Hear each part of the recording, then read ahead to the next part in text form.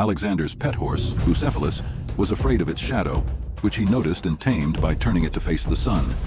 He had heterochromia, meaning his eyes were of different colors.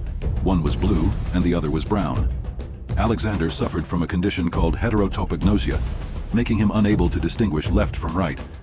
He believed he was the son of Zeus Ammon, a fusion of the Greek god Zeus and the Egyptian god Amun. Alexander once tamed an elephant in battle by feeding it wine, which caused it to become docile and friendly. He never lost a battle, but his troops mutinied at the Hyphasis River, refusing to march further east.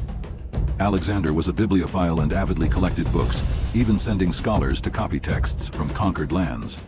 He married multiple times, including a wedding to the Persian princess Roxana, and encouraged his officers to do the same to solidify political alliances. After his death, his body was preserved in a golden sarcophagus filled with honey, which was believed to have preserved his body for an extended period.